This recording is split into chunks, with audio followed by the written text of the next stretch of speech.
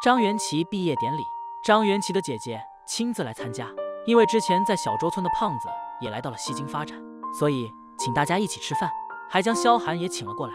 张元琪的姐姐还特意留了何冉旁边的位置给萧寒。韩宇看到萧寒之后也非常的奇怪，不过韩宇并不知道萧寒就是何冉喜欢的那个人。何冉，你想吃啥？我给你加。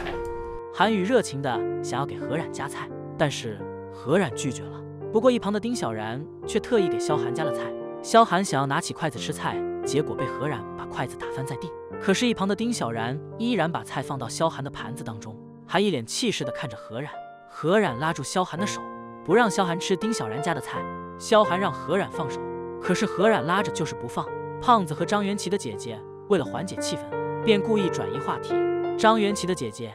想要给何冉，他不喝酒。但是，一旁的韩宇称：“放心吧，小帅哥，这个酒啊度数很低的，喝一点没事的。”不过，丁小然这个时候去询问韩宇是不是何冉的男朋友。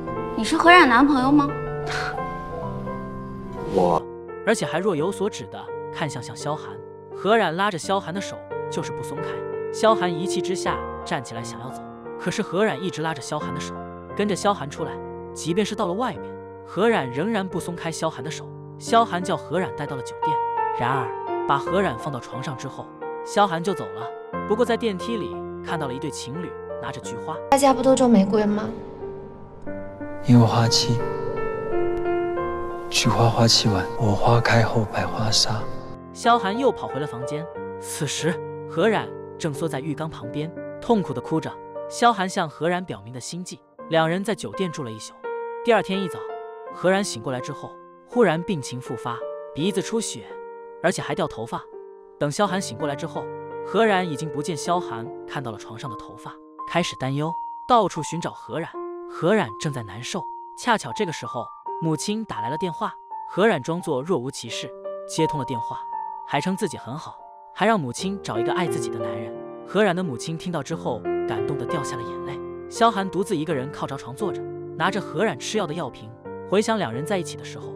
何冉犯病的情况，这才猜到了何冉身体可能不太好，病情非常的严重，痛苦的哭了起来。于是萧寒就找到了韩宇的叔叔，询问何冉的情况。萧寒得知何冉得的是白血病，而且十六岁的时候就确诊。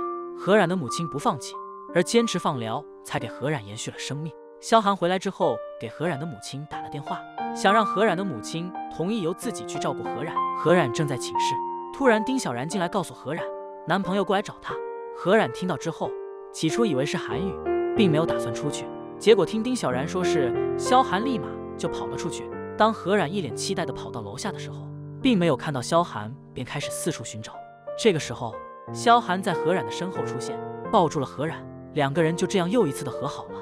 萧寒也开始履行自己的诺言，准备照顾何冉，带着何冉到处游玩。何冉跟萧寒玩的也非常的高兴。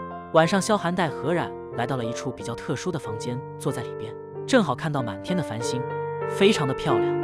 何冉询问萧寒，是不是就是带自己来看星星？可是萧寒突然站起来，拉住了何冉的手衬，还有更亮的。不过何冉已经非常满足了。而萧寒在拉住何冉手的同时，将一颗钻戒戴到了何冉的无名指上，然后单膝跪地向何冉求婚。何冉看到之后，激动的掉下了眼泪。萧寒向何冉宣读婚礼上的誓言。何冉的脸上也带着幸福的笑，两人抱在了一起。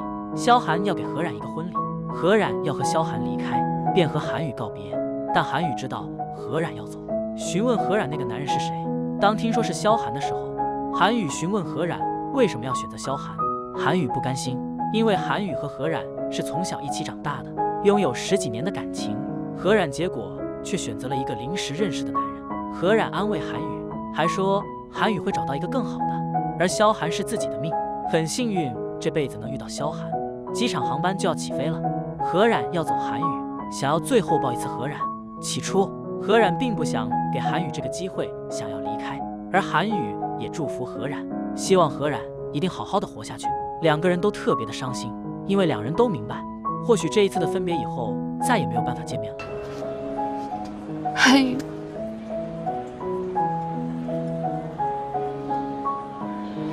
痛哭的何冉转过身叫韩宇的名字，终于给了韩宇一次拥抱自己的机会。萧寒带着何冉回到了自己的家乡。我好像一只火凤凰啊！火凤凰要飞起来了，飞起来了！并给何冉穿上了羌族的西服，准备在自己的家乡迎娶何冉。何冉和萧寒躺在了雪地上，终于何冉闭上眼睛睡着了。一年之后，何冉的母亲在餐厅吃饭，张元奇来找到何冉的母亲，两人见面之后都有着千言万语，但是每次张口却都说不出来。最后，张元奇终于说。